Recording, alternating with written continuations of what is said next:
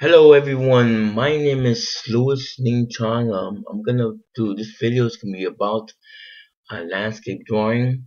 This we at the pencil stage now, and I start to um, restate the drawing, and I start with uh, two figures, female and female, male and female, and they are in the beach scene. So I restate the drawing, but restating the drawing is uh, basically just uh, sketching it out. And that's all you really do until you're satisfied what you have. Then you start a dark, then you press down the pencil to um start of to make a fence drawing.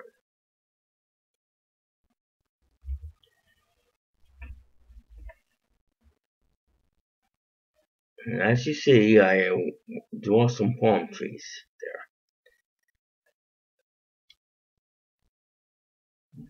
I'll draw some more palm trees on the right side also.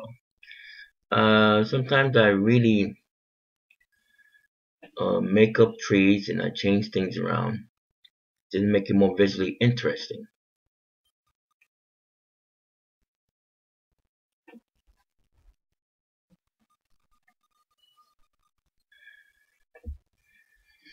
So I draw some clouds in the background and I erase the pencil drawing and then you still see the, the pencil ending of the paper in the paper.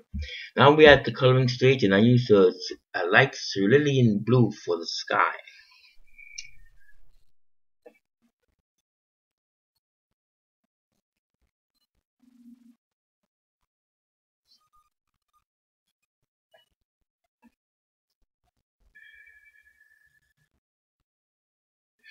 When I color, I color around the sky, the, the clouds and the trees.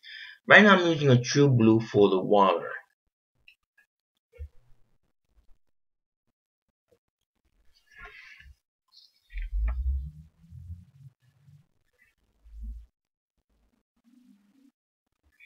Right now I'm using uh, the light colored skin tones with uh, peach and light peach. The peach is for the, for the shadows.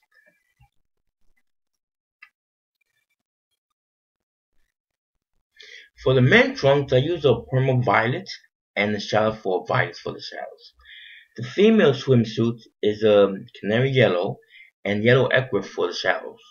And for the hair, I use Sienna brown and dark umber for the shadows. Now I start working on the, um, the, the green leaves, and I use many greens for the for the leaves and trees.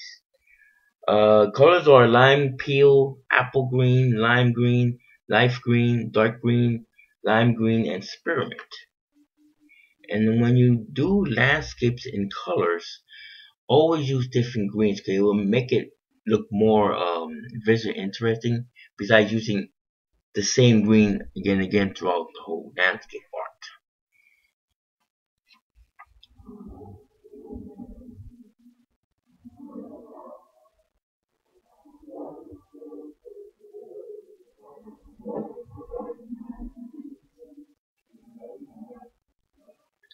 I add some shadows because the, there are values between uh, light, light, uh, medium, and dark.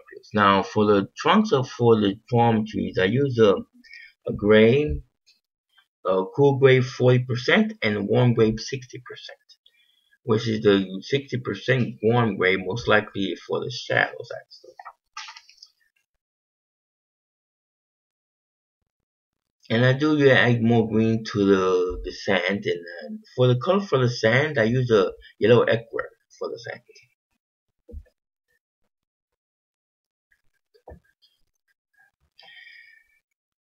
Mm -hmm.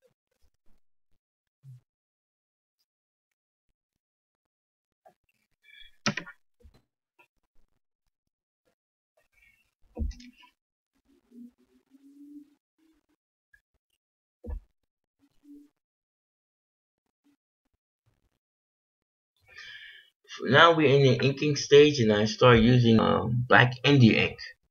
And I uh, start outlining all the shapes and I use it for the shapes to outline the shapes and to add texture.